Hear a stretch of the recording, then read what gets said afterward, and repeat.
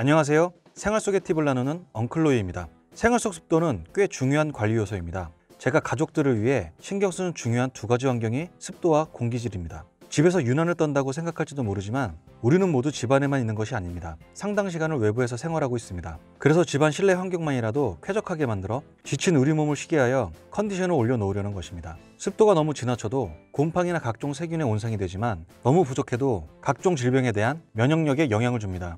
코의 점막이 말라 각종 세균의 침입이 쉬워 감기나 독감, 호흡기 쪽 문제가 생길 수도 있고 피부가 건조해서 알러지 등의 증상도 생길 수 있습니다.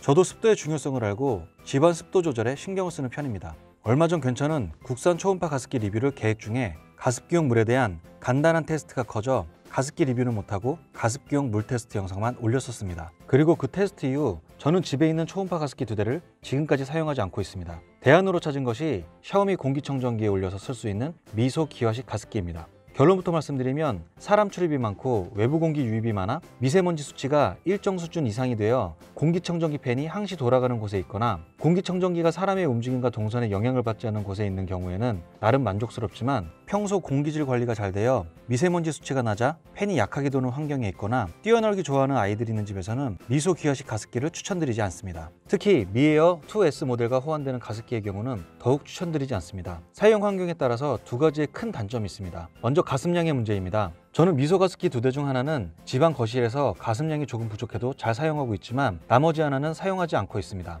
기화식이지만 공기청정기에서 나오는 깨끗한 바람으로 기화작용을 하여 조금 더 깨끗한 환경이 될 수 있을 것 같아서였습니다. 충분히 만족스럽게 사용하고 있어서 이번에 아이들 방에서 사용하기 위해 미에어 2S 모델용 제품을 구매하였습니다. 하지만 예상치 못한 큰 단점을 알게 되었습니다. 아이들 방에서 사용하는 미소 가습기가 제 역할을 못하는 것이었습니다. 평소 거실에서는 사람들의 움직임도 있고 환기도 하기 때문에 공기청정기 팬이 어느 정도 바람을 계속 만들어냈습니다. 그런데 아이들 방의 경우는 환기를 하더라도 금방 미세먼지 수치가 낮아져서 공기청정기에 미세먼지 수치가 낮고 그로 인해 팬 속도가 현저히 낮아 배출되는 바람이 거의 없어 기화식 가습기의 역할을 제대로 하지 못하고 있습니다. 물은 고여 있으면 안 좋습니다. 순환율이 중요합니다. 거실도 외부 미세먼지 수치가 낮을 경우에는 팬 속도가 낮아져서 수동으로 팬을 중간 정도 속도로 돌려줍니다. 거실에서 사용하는 가습기는 하루에 2에서 3리터 정도의 물이 계속 소비가 됩니다. 물이 어느 정도 소비가 되어 순환되기 때문에 가습기 내부 세척은 일주일에 한 번 정도 해주어도 크게 문제가 없었습니다. 하지만 아이들 방의 가습기에는 물이 많이 줄어들지 않았습니다. 그래서 가습기 내부의 물을 자주 비우고 세척하고 다시 물을 담아 주어야 합니다. 고인물에 혹시나 세균이라도 번식할까봐 신경이 많이 쓰입니다. 너무 불편합니다. 그래서 현재는 아이들 방에 가습기를 제거하였습니다. 제품 판매 페이지의 가습량은 도대체 어느 정도의 공기 배출량을 기준으로 한 것인지도 잘 모르겠습니다. 두 번째 치명적인 단점은 넘어짐입니다.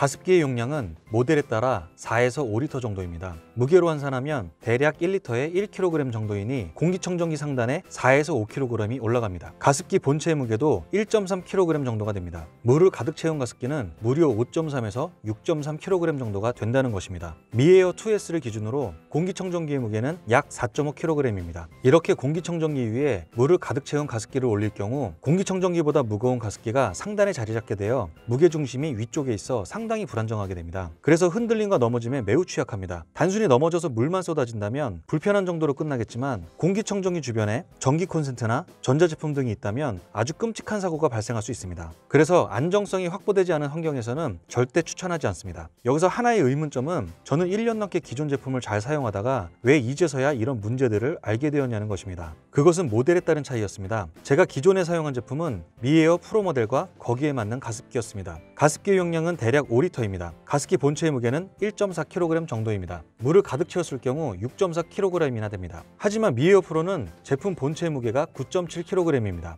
결합했을 경우 상단에 많은 무게가 쏠리지만 제품 전체 무게보다는 가볍습니다. 그리고 미에어 2S보다 본체가 넓습니다. 이런 차이들이 그동안은 넘어짐이나 불안정성에 대한 체감을 하지 못하게 한 것 같습니다. 미소 가습기를 사용하시거나 구매하시려는 분들은 사용하시려는 환경을 잘 생각하셔서 구매를 하셔야 저처럼 후회하지 않으실 것 같습니다. 영상이 도움이 되셨다면 좋아요와 구독 부탁드립니다. 감사합니다.